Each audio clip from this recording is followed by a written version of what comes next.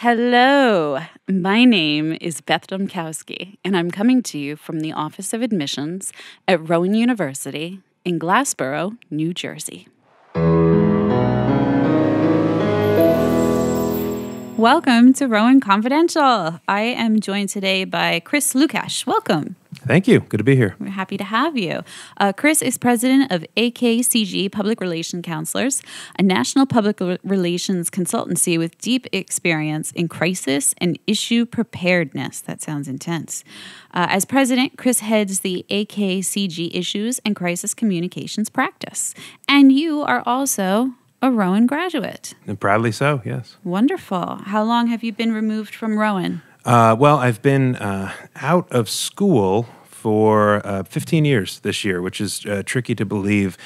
But I, I, can't say that I'm ever removed myself from from Rowan. It's been a, really an integral part of of my uh, personal and professional life. I I met my my wife and uh, my first boss turned business partner in the same about eight foot stretch of hallway oh on Rowan's goodness. campus. So it's it's it's certainly influenced me heavily in all the years that have followed. So what did you study here? I studied uh, public relations. Okay. Which uh, at, at, I remember one of my first public relations classes uh, being around the topic of how to describe what you do to your grandparents uh, at Thanksgiving, uh, okay. being such a sort of a, a tricky and non-specific topic.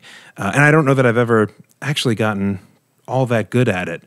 But you know, basically what we do as public relations counselors is uh, subscribe to the notion that reputation is essential for your business to succeed, for you to have a healthy bottom line, for you to have customers, uh, for you to be able to operate, you need to have a strong foundation in reputation. And that's what we work to uh, cultivate, to grow, to protect in times of crisis, and uh, to maintain in others. So, did you know this is what you wanted to do when you came to Rowan? How did you find public relations? Oh, so, uh, certainly not. I, I, I couldn't say I knew what it was. Um, I, let's say I I, decl- I, came in undeclared with the expectation to study, excuse me, English because that's what my parents studied, and um, and then I think I was in the the Cap Center in this very building, and I saw in a book that you could become a concert promoter with a degree in public relations. And okay. I said, boy, that sounds like fun. Now, the funny thing about that is, um, my professional career, my trajectory has taken me uh, down a lane where I do some some pretty heavy stuff, mostly a lot of crisis work, uh, and I can do that with a pretty steady hand. But if I'm ever asked to book an event, uh, to make sure the DJ shows up on time, to book a sandwich tray. I have no uh, I have no stomach for it. So it's the, the kind of the, the portion of the business that I've lost the nerve for uh, wow. that that eventually led me into it. The part that drew you in is the part that that I, I just I couldn't do, anymore, and I have yeah. and I have the fondest admiration for those that do, and there are many people that do it very very well.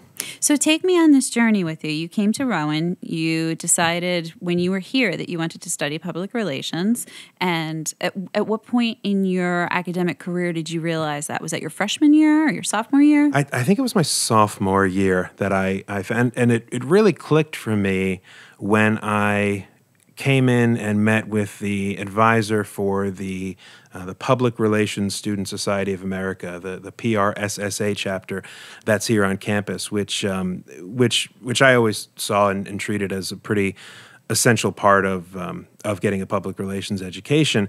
Uh, in its association uh, that mirrors a, a, professional association for postgraduates, but you know, it was so much about um, learning to apply the in-class techniques right away. Uh, the, the, PRSSA chapter here uh, maintained and still maintains its own firm uh, that has its own clients, so you get to uh, test out the techniques in real time, and uh, and and also it was really prioritized um, building your professional network and, and, and cultivating that network that you would draw upon and continue to draw upon at every stage in your professional career, um, right in those first few days of, uh, of your education. So uh, it, was, it was once I got introduced to the outside the classroom uh, aspects of my Rowan education that I, I really became hooked and I think really became uh, energized. I think that's kind of when I, when I hit my stride.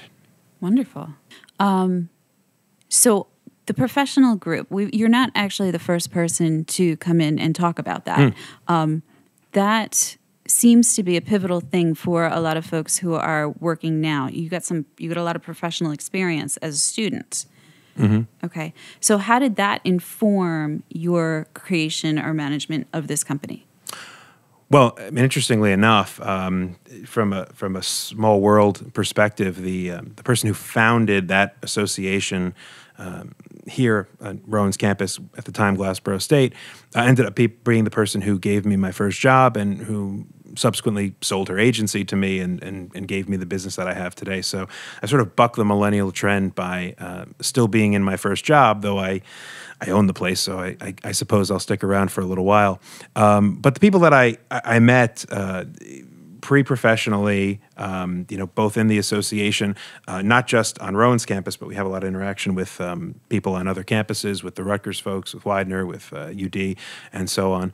Um, they, they've all sort of moved along this path right alongside me, and and uh, the people that I know now professionally, I've known since I was a college student, which is uh, pretty special and pretty remarkable, and not necessarily uh, translatable to too too many fields. I, I really had no concept uh, when I came into school how much I could get in terms of building and developing a professional network and how essential that would be to postgraduate success. But I think Rowan really drove that home for me. That's great. And you're back on Rowan's campus in a sense. Yeah, right on the right on the tip. Um, we've we've always been uh, headquartered in South Jersey, uh, and and proudly so. But uh, when our, our lease came up a few months ago, we we had to look for a new home, and uh, and Glassboro was at sort of the top of our list um, as a, as a, a, firm that's fairly young that likes to attract a lot of um, you know young talent and, and fresh talent and, and highly skilled talent. Uh, we couldn't think of a better place to be than uh, than than so close to campus here, uh, not just because of the access to talent that we had, but also because there's just such a remarkable energy to to the Boulevard right now. I mean, it, it's it's energizing to just. I mean, we were here from July when it was a little quieter, uh, right through. You know, it's October now, and we're starting to see uh, the year has picked up, and uh, it's it's it's like an infusion of. Uh, uh, of energy that we just soak in through the walls. Uh, we're, we're, so happy to be here. We're so happy to see what the campus has done, what the university's done and what it's doing for the for the town of Glassboro. It's uh, this this could sound uh, cynical, but I've you know I've mentioned to a lot of people we've been moving down here to to the borough, and um, you know some have said, "Well, what do you want to go to there for?" And once we've brought them here, and they've you know we've shown them around and seen it, they just couldn't believe uh, the transformation that. Um, this has experienced in the last few years, it's it's remarkable. It is remarkable. I remember seeing the plans for Rowan Boulevard, and it seemed so far in the future, mm-hmm. like they were going to build this thing, and here it is. It's yeah. here. We have uh, built a downtown. Mm-hmm. Yeah, it's it's great to just uh, like I said, just to walk around and soak it in and, and be a part of something. So I have to ask issue and crisis communication plans. Mm. What what is what is this? Yeah, you know, it's that, that piece of the of the reputational puzzle where we try to uh, make sure that um, organizations can uh, get out of difficult situations with as much goodwill as they possibly can.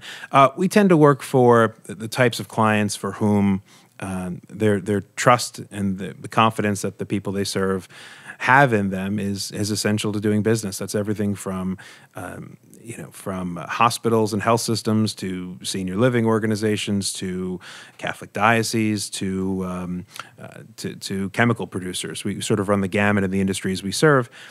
And the the common thread is that uh, you know to the extent they are facing um, issues or recovering from issues, um, you know, they deserve to have their story told and their point of view represented, and that's what we do. It's very it's very uh, unpredictable work. It's very exciting work, and it's extremely rewarding work because um, you know we're we are not just uh, giving people a stack of um, newspaper clips. We're we're in many ways giving them, I think, I think peace of mind and reassurance and uh, setting corrective courses for their businesses. We, I, I, love the work we do. So I'm a client. I'm seeking you out. Mm-hmm. I have I have an issue. Mm-hmm. Needs to be mitigated. Um, what what does our relationship look like? What what types of things do you help me do? Um, well, I mean, the, the, first thing we we ask is, um, you know, are you uh, contrite? Are you um, sincere? Have you taken action to correct whatever is put you in the crisis situation? Uh, if we don't have those pieces in place, we'll we'll say thanks. There's not a whole lot we can do for you. I think that's one of the the, the main lessons I took from from my Rowan education is that uh, is that uh, public relations is only as as good as the person sending the message. Uh, public relations only works when um, we're we're promoting good work done well. Um, I remember one particular professor saying it. You know, what it can never do is perfume manure. You know, we can't we can't make problems go away with with spin. We can't do damage control to make difficult things go away. So we have to you know we have to be reassured that uh, we're helping someone that's in a position to be helped. Uh, from there, uh, you know, some of the things we do involve working with media. Some of the things uh, we do involve finding ways for them to connect with the people they serve, be that in person, be that through social media, be that through video, be that through, uh, you know, we we also like to set goals for ourselves. We like to measure how we're doing against those goals. You know, we it's not just throwing spaghetti at the wall. Um, we, we we try to understand what our position is and see how we can move the dial and see how we can um, help our clients, help them grow, help them strengthen their positions. So, what advice would you give a student or the parents of a student who's thinking about going into this field? Well, sure. I mean, it's it's uh, it, it's a strong field, and mm-hmm. it's um, despite the fact that uh, you know sort of our counterparts in, in journalism are, are getting a reputation for uh, uh, you know for for being a, a, threatening field to go into. I, I don't really buy that, and I certainly don't buy its impact on public relations. Um, you know, the more that things change, the more that people get their news every day from Facebook and Twitter. Um, you know, the more we just have to be on our game, the more we have to look for ways to engage with people meaningfully, to engage with them in person, to engage with them in a way that that resonates. I just uh, did a presentation this morning for a group of hospital officials, and one of the things we spent a lot of time talking about is. Um, the shrinking attention spans of consumers. I mean, we uh, Microsoft Research does a study every five years where they've pointed out that since the onset and the, the, the rise of Facebook, humans have lost a third of their attention spans. So, um, you know, we have to be even more guarded to uh, to cut through the the muck and cut through the waste and cut through the distraction. And uh, you know, it's it's a thoughtful field. It's uh, it's one with a, a sort of a, a firm academic basis, and it's one in which I think there's a lot of opportunity for good, rewarding work. I'm going to ask one more question. What is something that you wish people knew about your field? What's a misconception or something that you feel you need to correct? Um, yeah, I, I, think that um, we're too often painted with a brush of um, not being strategic, of uh, of being something that that sort of anyone can pick up, um, that anyone can uh, make the leap into from other professions, and you know, in many ways, that's true.